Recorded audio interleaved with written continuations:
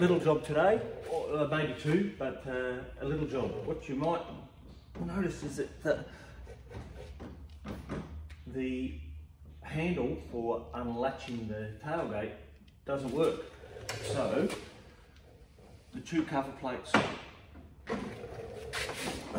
on here have been opened up so that uh, someone can reach in pull on the wires that pull the latches here. Both the latches appear to work, uh, but this mechanism in here. So today's plan, open this up, find out what's not right. You will note that I've lost one of these. So I'll have to track something down. I might make a uh, checker plate cover to go in there, a little bit of aluminium checker plate to cover that in the meantime. Uh, but I'll pull it open and we'll get going. So, looks a bit skanky in there. It's not initially clear, maybe something bent in the handle part, but I see that there's a couple of bolts there holding that cover piece on. Some bolts here holding this. That one's got a bit of foam over it to stop it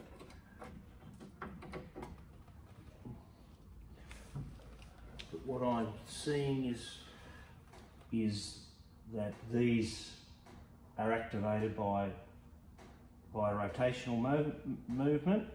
The handle goes up and down, so something converting that linear movement into rotation is where the problem is. So I'll pull this apart, give it a clean, and see what I can find. So I've got uh, I've got the little bolts holding the back of it on. The nuts out here looks like uh, uh, these holding this, the whole front assembly on is a little stud in the back of it because one nut came off and one nut came as a stud. Uh, so, one came, the stud unscrewed out, didn't break off, didn't break off. Uh, I'm going to see if I can pull the, I can't, uh, probably, this screw here holding the wire uh, and providing adjustment, I can't undo those. I've got them soaking a little bit with the WD, not, not a great penetrant, uh, and a bit of degreaser, but it appears that it's full of leaves, dry leaves, uh, which I'm going to reach in there and get out, once I get this part, uh, and uh, clean everything up, straighten the bits. Of, uh, I've got a feeling something's either terribly bound up in there or bent, which is why it doesn't work.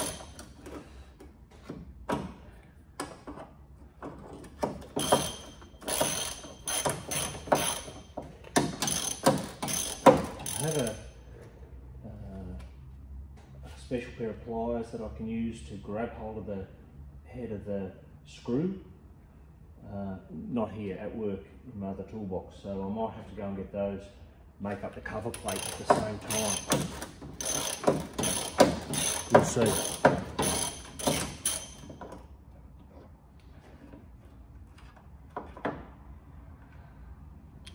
and I haven't lost, lost the 10 mil socket yet, but it's only a matter of time.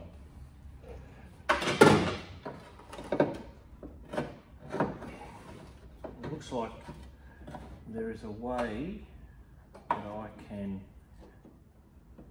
unhook this piece of wire and pull this out. There we go. There, so I should be able to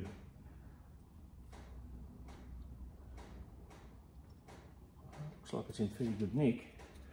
I'll give that a clean up. Degreaser, lube it up with a bit of that uh, white silicon, uh, white uh, lithium grease that I like. And, uh, and that can probably go back in there and do its job. But that will help me that I can unhook those. I'll be able to pull the whole thing out. I feel. You can see in here, there's a piece of wire retained by these two lugs uh, and and what appears to be the screw which just spins. Oh, yeah. I take it back. I don't think that's related.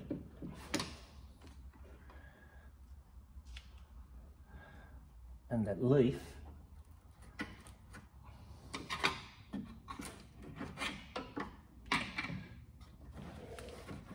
looks like that might be the the part that transfers the uh,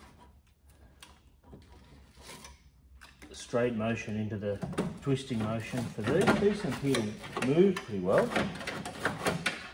Uh, it might be, these do feel stiff and uh, slow. Springs are both intact, but uh, it might just be those cleaning up. But I want to get this out, and I'm thinking that, oh, that's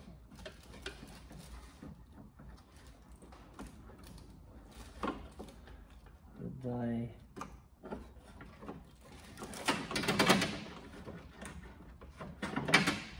this end of it's definitely attached to the, the piece down there. And this piece is definitely attached to the bit that goes around like that. It's attached to both of these. It would be good to get that, those screws undone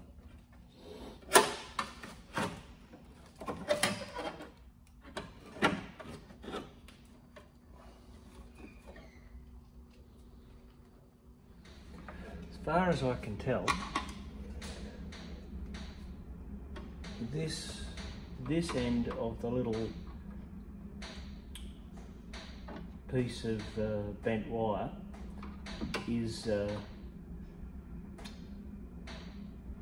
peened over, squashed over on this end, so it will not come out up that way. I do, it does feel like this end should be free to come out. I'll grab some needle nose uh, pliers and uh, something pointy with which to lever and see if I can pull it out. I take it back. I'm now convinced that both ends of this uh, connecting swivel link uh, are swaged this end feels like it's been uh, punched in that end, so that won't come out of there. Uh, feels like that one is swaged over as well, definitely. So to separate this swiveling part, which is attached to the plate fixed here, from the handle part, which is attached to these bolts here, so that I can get those two parts out separately. I'm going to have to cut that and make a new one out of a piece of wire.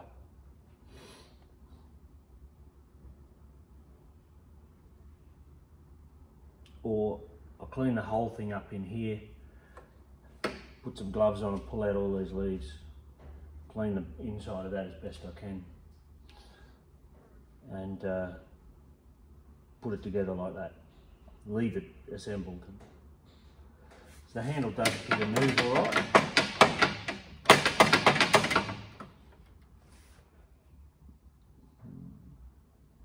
I'll start cleaning this up and I'll make a decision about whether I have to cut that link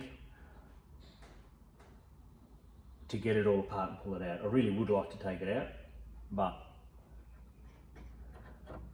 my experience has been is that I can make another one of these. I can't swage both ends of it. That's what these little plastic things are for. They're to, they're, they're to hold it into those spots so that it doesn't come out.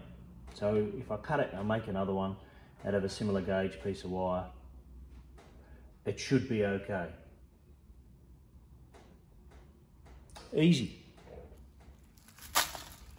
So my hands are too big to fit in there. So my able assistant uh, no. is uh, reaching in there. So here's a piece of advice. Don't leave those covers on the back of your tailgate open because mysteriously it fills up with leaves and rubbish, which makes me suspicious as to how it all got in there. Uh, you can use your imagination on how you think it got in there. In a big thick wad at the bottom of the tailgate. Yuck. So the tiny hands of my assistant have removed three quarters of a bucket of uh, compost is what it could be best described as. Uh, we didn't, we, uh, we decided to remove the tailgate so that we could tip it upside down and get all of the schmutz from the bottom to an accessible area, and I use that term loosely because it's not that accessible. Um, you know, vacuum out the rest. We're going to clean it with soapy water, drain it properly, and then spray something like uh, fish oil or something in there so that it doesn't rust. So it's very fortunate given the amount of uh, debris in there that it hasn't rusted out the bottom. I guess that's uh, proof that that it did live out its life out west where it was nice and dry. Uh, the turns out there are three bolts holding that uh, cover plate on the front. That seems to move pretty freely. I'll give that another clean up once we've done this uh, exercise with uh, getting the stuff out and cleaning it. And we'll uh, get it back on, convert some of this rust on the back of the, put some rust converter on there. I think I'll go with like a rhino lining or something like that in the back of the ute once I've done the rust repairs at the rear of the cab. Moving along nicely. I'm to vacuum the rest of this debris out of here and, as I said give it a bit of give the whole tailgate a bit of wash up I might see if I can get that broken bolt out as well. I broke one of the bolts uh, holding the hinges on. Uh, I'll see if I can get that out and uh, tidy it up. I'll make that little plate as well while I'm here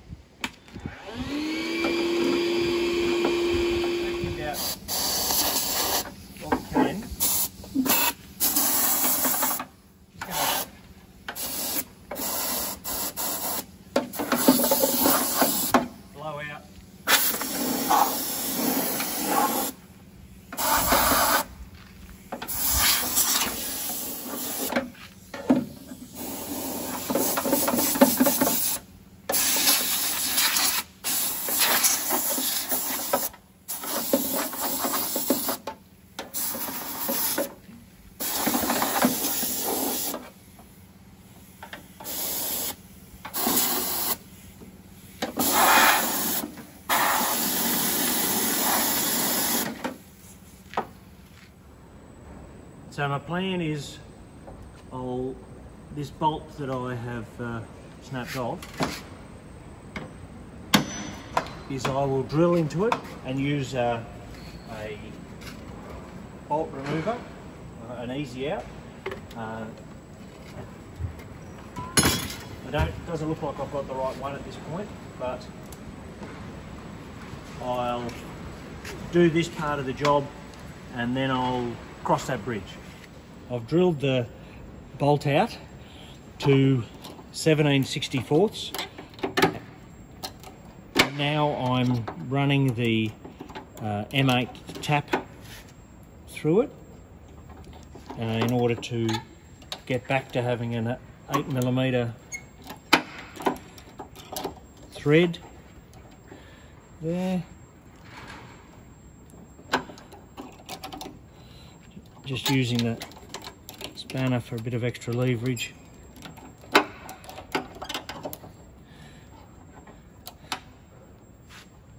Using some cutting fluid in there as well. It's a bit difficult as that captive nut is just in a slot while it appeared to be rusted in position before with me spraying penetrant all over it, it uh,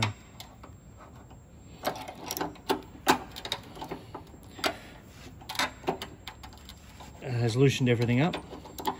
Just got to uh, uh, relieve the chips as you cut the thread. And I think I'm pretty much all the way through there.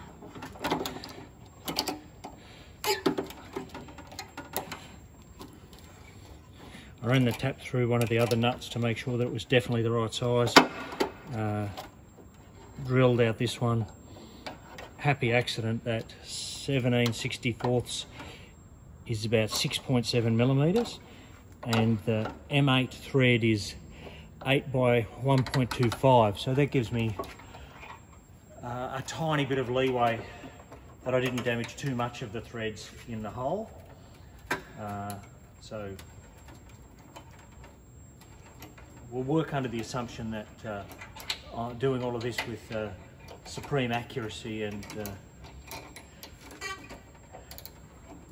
we'll uh, we'll call it good anyway. So the M8 tap goes in all the way through. That's a success. So got that bolt out.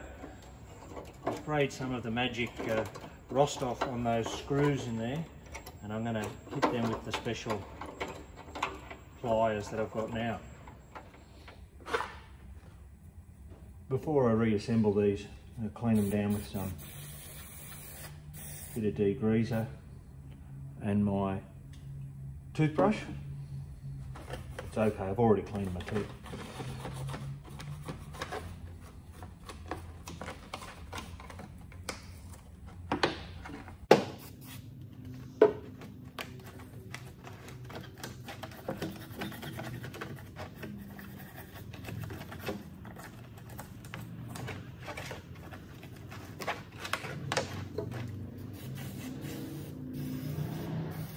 just using a brush to, to loosen it up.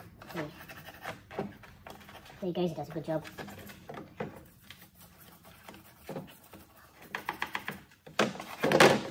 On its own.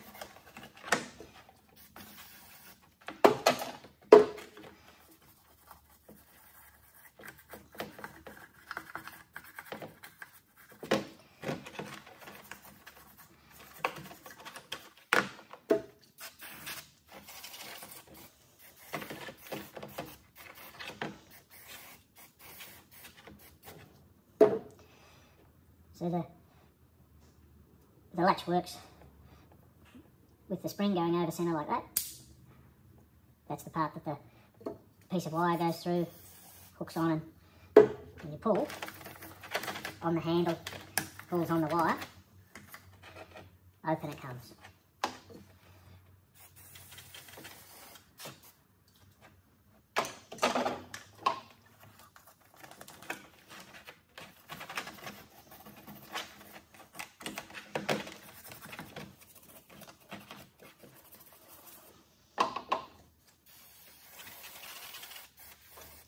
Come up really good. The zinc plating's in excellent condition. So a dry climate car. Hmm, looks good. On to the other one. You'll recall that one of the the uh, covers on the inside of the tailgate was uh, missing. So I'm just going to cut one up out of this uh, offcut of aluminium checker plate, uh, tread plate. Uh, I'm just going to trace around it and uh, cut it out and drill the holes then use it from there. Cool, yeah. There we are. I just uh, cut it out with the guillotine. I'm just going to fix up those edges on the disc sander. My plan here is to center punch these holes using a claw hammer and a center punch, a pilot hole and then drill a six millimeter hole. It's a bit big for six, but uh, I don't think it's eight, so we'll go from there. There we go. The hole's more like seven. I used the uh, step drill, so I went to eight, so that I didn't have any trouble with the holes matching up. When I went to put the, uh, there we go.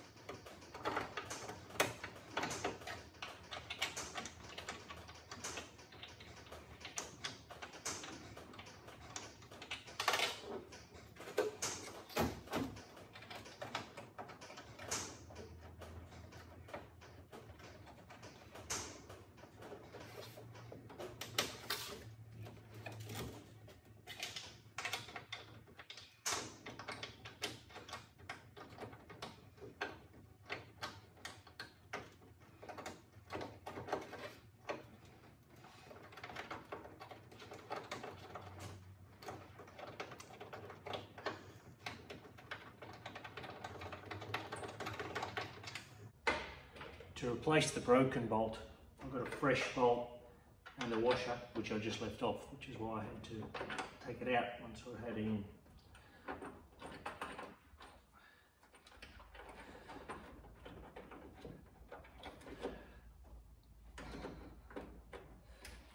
That one's cross thread.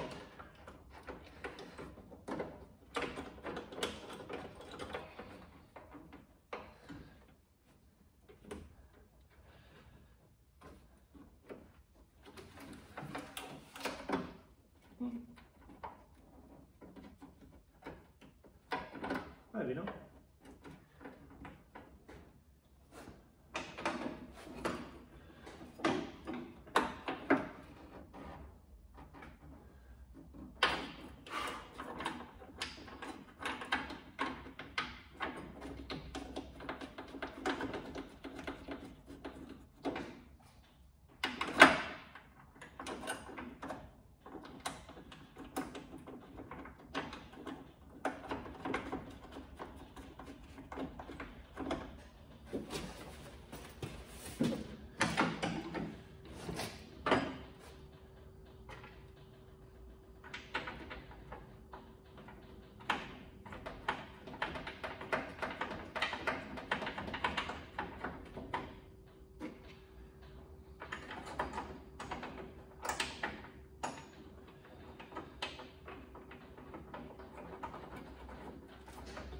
Thankfully, on this occasion, I didn't leave it so long that I forgot to how it went back together.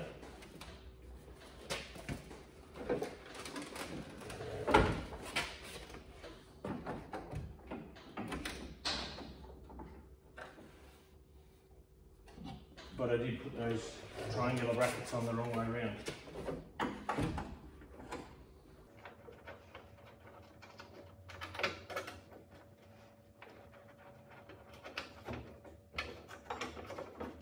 Remember.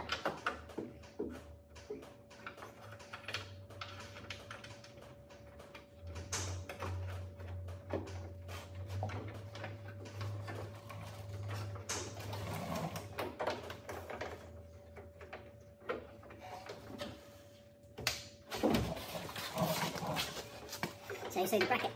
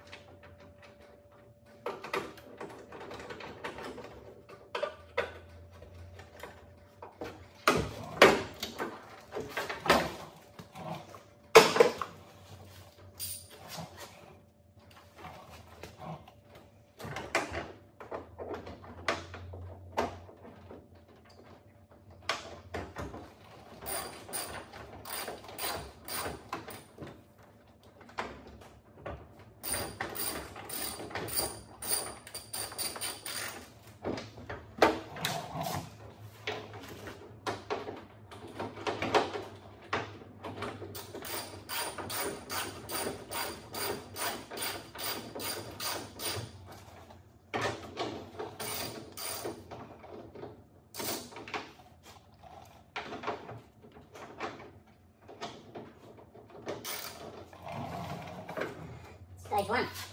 Now for the internal.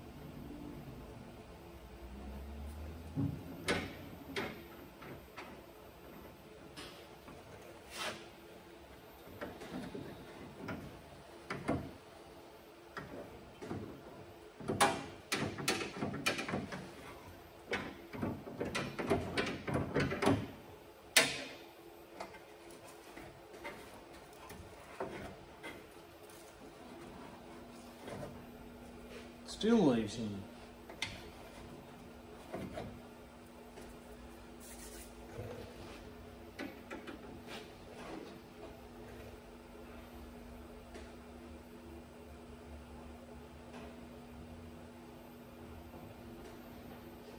Now, fairly sure I didn't mix these up. They are handed, of course.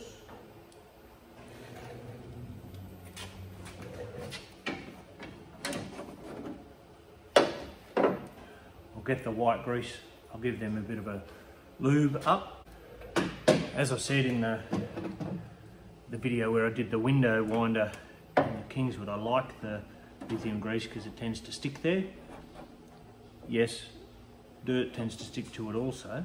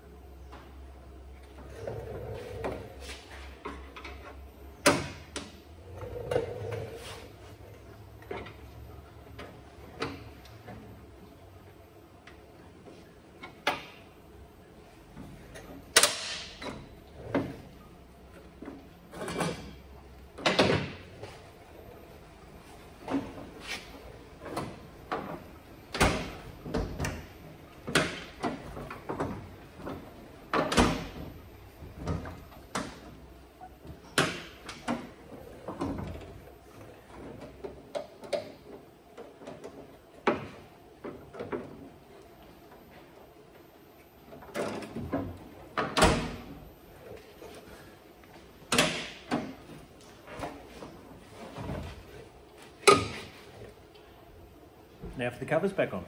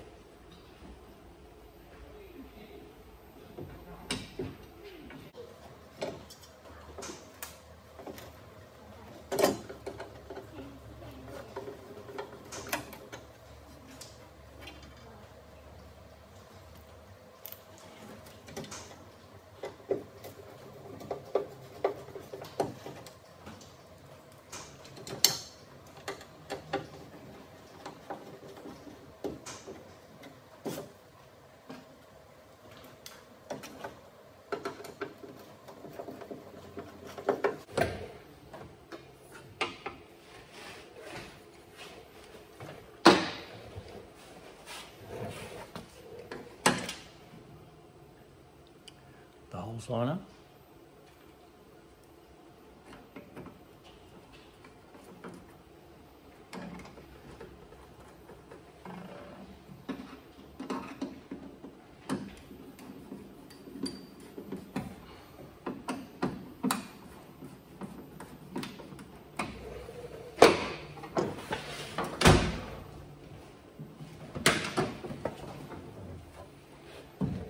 and it should stop the leaves from getting in. Two, three, four, five, six.